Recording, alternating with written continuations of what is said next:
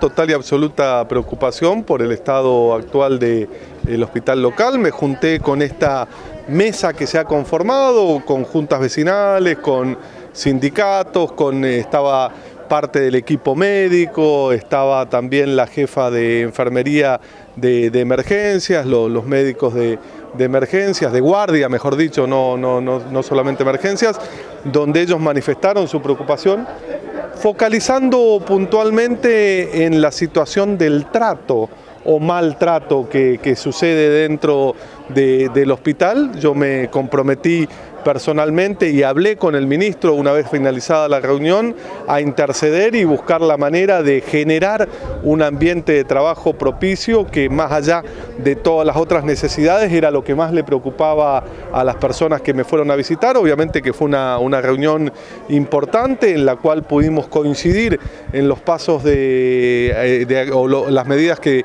que debemos tomar hacia adelante y en ese sentido, insisto, me comuniqué con el ministro, el ministro obviamente que se puso al tanto, recibió el petitorio de, esta mesa que se ha conformado y se está trabajando para destrabar esta situación. Obviamente... intendente hacia los pacientes, hacia dentro mismo los trabajadores? Hacia los trabajadores, hacia el equipo médico, es algo que le manifesté, insisto, al ministro y que también tenía la misma información y que se va a trabajar fuertemente para poder destrabar. Comprometió la visita al ministro, comprometió la visita con el secretario también de salud.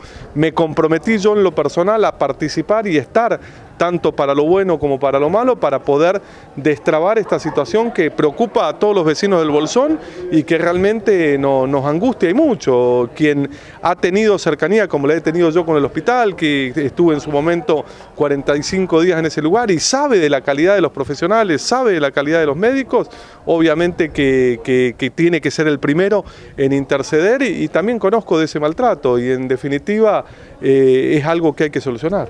Intendente, ¿han recibido la confirmación de la nueva directora del hospital? ¿Regresaría Mirna Lamberto al hospital? No tengo esa información, no tengo esa información. Lo que sí han manifestado los médicos es que de alguna manera hay que buscar una nueva propuesta que pueda satisfacer a todos los sectores y en, definitiva empezar a, poner al hospital local del Bolsón en el lugar a donde estuvo, con excelentes profesionales que hoy han dado un paso al costado, que hoy no están en la gestión, que muchos de ellos son contemporáneos a, mí, o sea, estudiamos en la secundaria juntos, nos fuimos a estudiar a la universidad en un mismo tiempo y han hablado conmigo y me han manifestado cuáles son las razones de su alejamiento y no son salariales.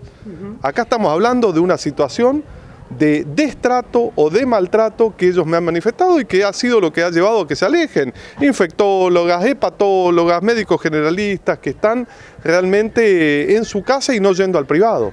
Una situación como el cierre de la UCI que la terminan pagando o sufriendo los sectores más postergados de la sociedad, que incluso en los puestos sanitarios ven que le están sacando los médicos para venir a cubrir guardia. totalmente.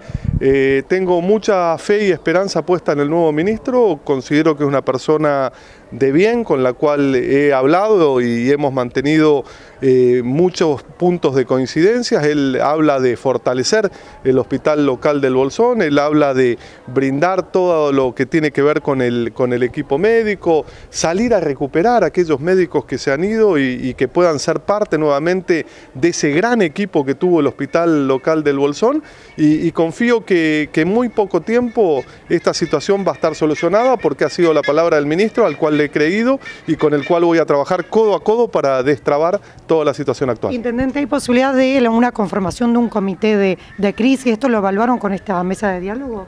Se evaluó, lo hablaron, el comité de crisis y la mesa la manejan ellos, yo como intendente del Bolsón me pongo a la cabeza junto con el ministro, el ministro a la cabeza por ser la autoridad máxima, yo acompañándolo, también tenemos todo el apoyo, acá está Agustín Huasco del Consejo Liberante, Laura Rojas que, que nos acompañan y nos apoyan. Y tenemos eh, mucha fuerza y muchas ganas de que el hospital vuelva a ser lo que era y que vuelva a brindar un servicio al ser el único recurso que tenemos para caer en caso de algún tipo de enfermedad que, que supo ser. Todo comienza con el cambio de dirección. El ministro le dijo eh, cuándo vendría porque esto es perentorio. Están en, el corto plazo viniendo al Bolsón y obviamente que ya han evaluado la situación, que ya saben por qué lado tienen que ir, se lo hemos manifestado y ellos han coincidido en cuál es la visión eh, mediante la cual hay que recuperar el hospital eh, local y en pocos días vamos a tener novedades de las decisiones que tome el ministro y que vamos a acompañar desde el municipio del Bolsón.